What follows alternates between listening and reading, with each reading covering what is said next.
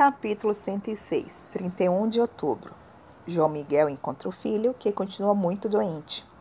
Malu diz à mãe que tem um terrível pressentimento sobre seu filho. Malu se dirige ao tribunal para depor contra Estefânia, que a espera com surpresa. Enquanto Malu depõe no tribunal, João Miguel se pergunta se deve dizer a ela que encontrou seu filho, pois o estado do bebê é grave e ele corre o risco de morrer. Estefânia finge estar louca, faz terríveis acusações contra Malu e diz a todos que ela é um demônio com cara de anjo. O médico diz a João Miguel que o bebê vai se recuperar e logo poderá levá-lo para casa. Leopardo volta de sua viagem com Branca para depor contra Estefânia. Malu já não acredita que volte a ver o seu filho e se culpa pelo que aconteceu.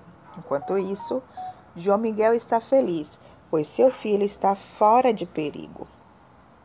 João Miguel acaricia o filho por ele ter se salvado. Estefânia tem um ataque de nervos na cela. Amador vai embora e não permite que Isabela o acompanhe. Enquanto Malu sofre desesperadamente pela falta do filho, João Miguel decide levar o menino com ele.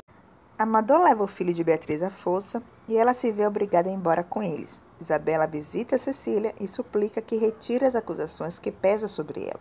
Patrício descobre que Amador fugiu e coloca a polícia atrás dele. Ao perceber que está sendo perseguido, Amador tenta se evadir e sofre um acidente. Malu fica muito nervosa ao ouvir o pai dizer que João Miguel tem notícias do bebê.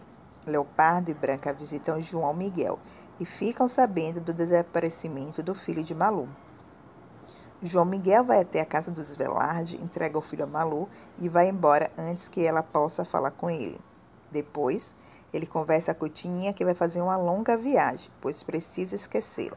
Eduardo fica sabendo do acidente, vai até o hospital, lá encontra Beatriz e o filho com ferimentos leves, enquanto Amador está entre a vida e a morte.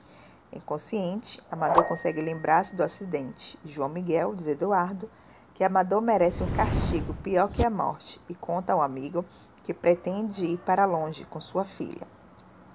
Leopardo agradece a João Miguel por tudo que fez por ele e Branca e lamenta que não tenha se reconciliado com Malu.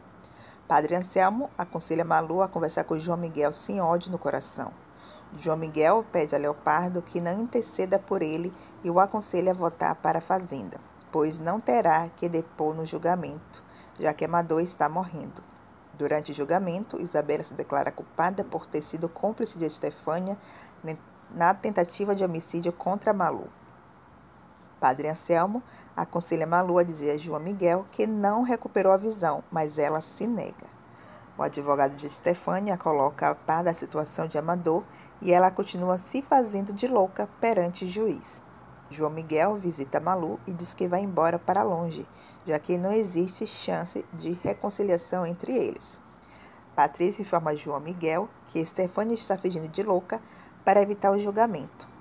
O rapaz deixa a casa dos Velardes, arrasado e acreditando que Malu já não se interessa por ele. Enquanto isso, a moça chora porque sente que perdeu João Miguel para sempre. Ofélia convence João Miguel a viajar sem a filha. Isabela é condenada a 10 anos de prisão. Malu conta na Júlia o que aconteceu com João Miguel e ela diz que se estivesse em seu lugar, o odiaria para sempre por tudo que ele fez. Capítulo 107, terça, 1 de novembro. Malu propõe a Ana Júlia que trabalhe para ela. João Miguel diz a Tininha que fará uma viagem, mas promete voltar para passar o Natal ao seu lado. Malu relembra tudo o que viveu com seu amado e percebe que nunca poderá odiá-lo, pois não deixou de amá-lo. Estefânia é informada que será submetida a um exame psiquiátrico com o Dr. João Miguel.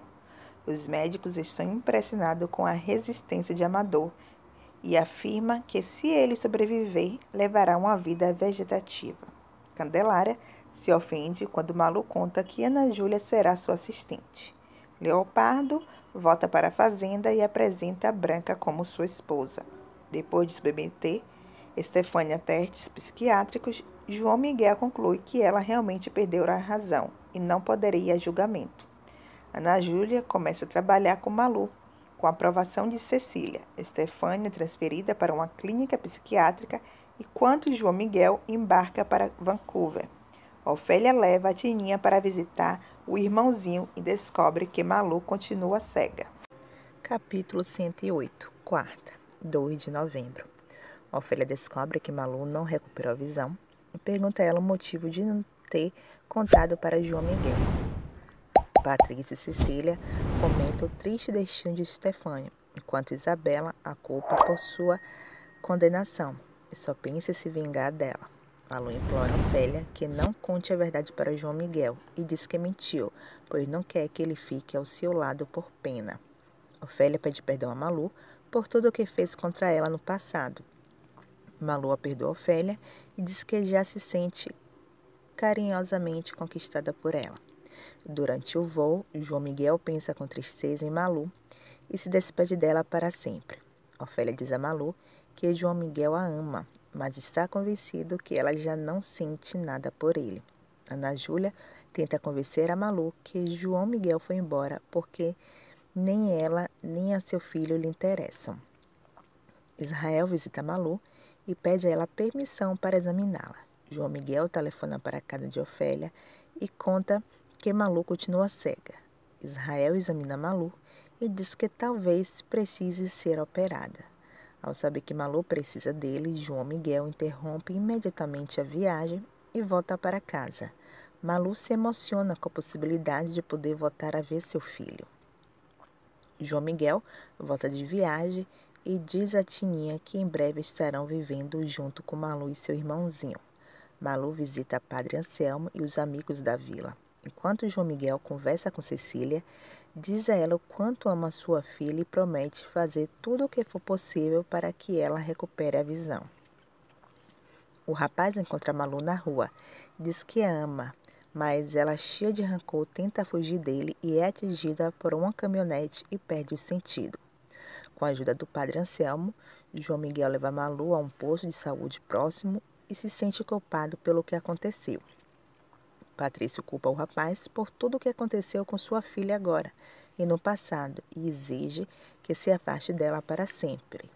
Cecília teme pela vida da filha e reza fervorosamente. Malu demora a reagir e os médicos temem um agravamento de sua cegueira.